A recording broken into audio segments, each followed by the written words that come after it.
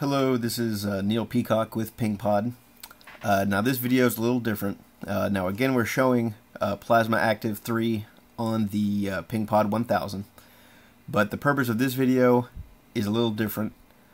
Um, this is more to show some things that aren't working as well right now for us.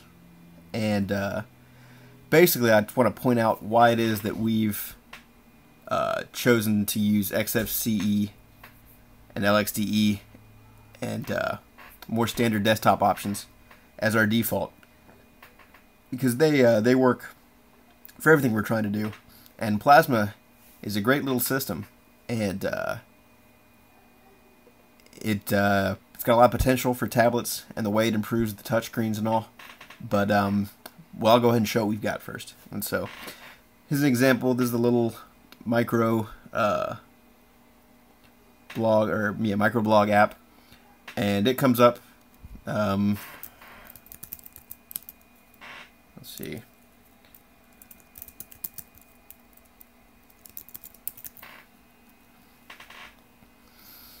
And just another example, I mean, it comes up, it looks real nice, but uh, so far, I haven't managed to get it to work. Um, everything seems to run smooth and you know seem to freeze up or have any issues, but I just uh, I haven't managed to get it to to bring in any data. Um, let's see. We'll kind of move up the examples. Um, there's a network manager here in Plasma, and so far uh, we haven't managed to get it to bring in the interfaces that are running we can test and run it. This device actually is plugged in with an Ethernet USB, so we know it's got the interface and we can use it from the prompt, but it doesn't come into network management yet. So that's probably just a configuration issue. Um, this one's a little more worrisome because it might be that our hardware is not really good enough to run Plasma long term. But so with the browser, um, our previous attempts, just basically took so long to load a web page, you know, it wasn't real usable. Um, let's see. We'll go to Google News there.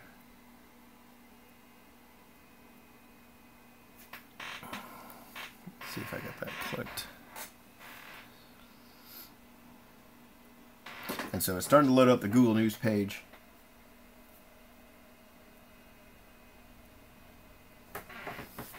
And as you can see, it's just uh, it's just taking a while. And again, this could just be a configuration issue and we may yet sort it out. Uh, we are going to start talking with uh, Plasma guys and hopefully hopefully we figure out that it's just a configuration issue or something. Because the biggest one, because that just runs a little slow, but it does uh, come up. And so, if you were patient, I guess you could use this. Um, but again, it might just not be a good fit for the PengPod. We might just not have enough power, it turns out to run plasma well. So, um, whatever I can get some control back here.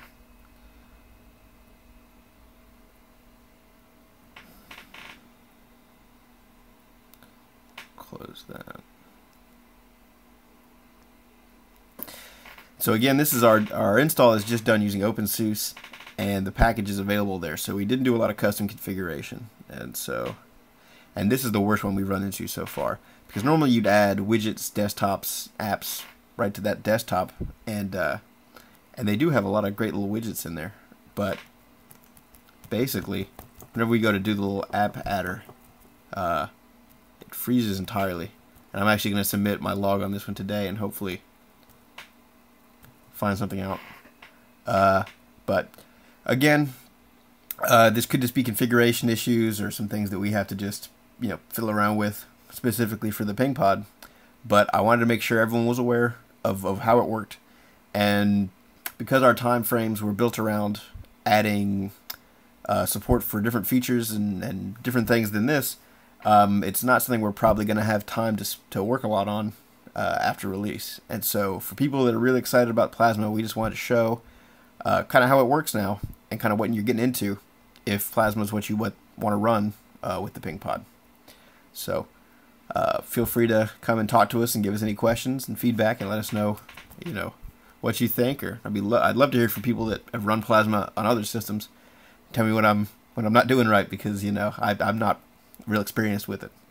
But uh, again, we're out trying to make sure everyone just knows you know the true state of things. So uh, please visit us on our website at pengpod.com or come visit our fundraiser at uh, indiegogo.com slash pingpod and let us know what you think. Thank you.